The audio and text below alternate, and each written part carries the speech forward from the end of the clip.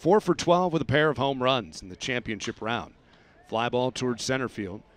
Right center, Zack Zehner coming in with the sliding grab out of nowhere for Zack Zehner. Shane Robinson looked like initially it would be his, and Zehner comes in and takes one away from Rob Refsnyder. Oh, absolutely. That ball looked like it was headed to center for sure, and it just kept on slicing. So it's Zehner and right, Robinson in center. The left fielder's Mark Payton.